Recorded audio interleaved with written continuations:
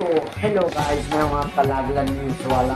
हम आपको पल पल न्यूज़ देते हैं। ओके तो आज हम आपको बताएँ आज का ताज़ा खबर? सीमा ने आज क्या किया सीमा ने कल पकड़ कर दी चलते हम्म, जी हाँ आप सही सुन रहे हैं। सीमा कभी पार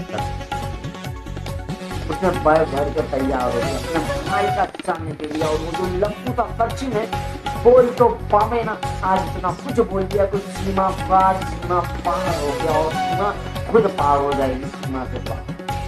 जी हाँ सही सुन रहे हैं कि लप्पू का सचिन आज सीमा को बहुत कुछ बोल दिया जो कभी बोल नहीं पाओ और आज बोल दिया, हमारे पास ताजी खबर है। और ये न्यूज़ यानी लाडला न्यूज़ आपको बताएगा सिर्फ़। बने रहिए वीडियो में अंत तक Thank.